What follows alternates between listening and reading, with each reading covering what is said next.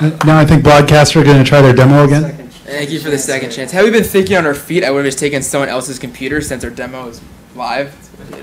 But hindsight is twenty twenty. All right, so I'll make this quick for you guys. So what you're looking at right now is the dashboard. Uh, this I'll be bouncing back and forth between both two pages. Uh, this is the dashboard that you're looking at now.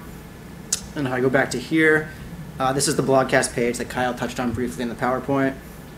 Uh, if I scroll down, so I've been blogcasting this while I was sitting over there. Um, you can see some of the pictures I've been taking. I took a picture of every company that pres presented.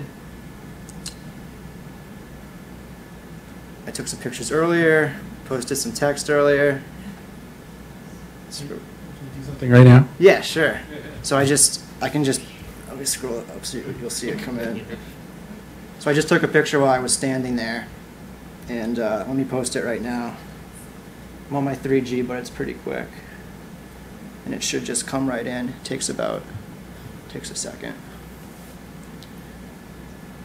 So what's at the top there? Why does it have crushed down kind of grayed out? Oh yeah, scroll Right above? What is that separate?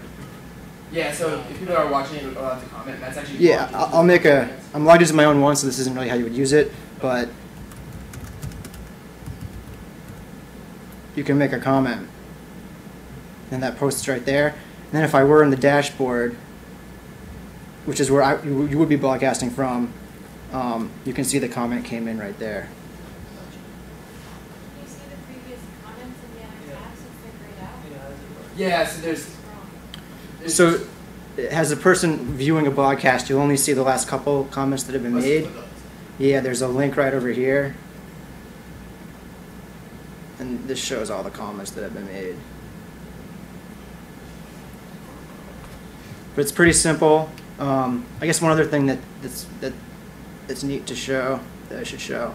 If I go back to the comments tab on the dashboard, I can take a comment that Kyle made and then I can repost it.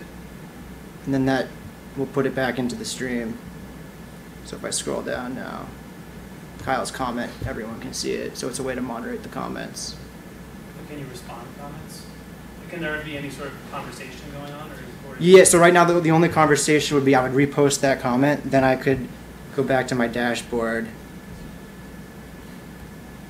The only conversation would have to happen in the stream. Okay, so you can't connect. No, that's How you- that's something That's sort of a next step. that's something that we do plan on building, but right now it's it's all in the stream. Yeah, and then the back and forth is just to show you what the people will be saying. If you were broadcasting yourself, you'd just be fully in the dashboard. This is just what you would do. So can you do collaborative events? You have multiple people? Yeah, right now, right now there's only one person that's design, that's the, that can broadcast, and everyone else has to watch. That's also something we're thinking about how we can work work that in. And one way to do it is, you know, you could have someone commenting and just continue to post their comments and so people work around it. Yeah. It's a visual. But we have put some thought into that. Um, how much do you charge to white label technology? Well, right now it's completely free. We don't really have a white label service per se. You just sign up and you create an account. Anyone can use it. Somebody wants to like put this and brand it and their own name. Someone wants to take this and they can't do it right now and put it on their own website. Right? Yeah. Right now we don't make any sort of widget. We're never going to make any sort of widget, and we don't have a service right now that you can completely customize. But that's something we plan on doing. So that was your monetization model, I think you said earlier, right? Yes, but we're not trying to Right, make money okay. at the moment. Sure. All right, thank you, Blogcastr. Yeah, thanks for giving us a second chance.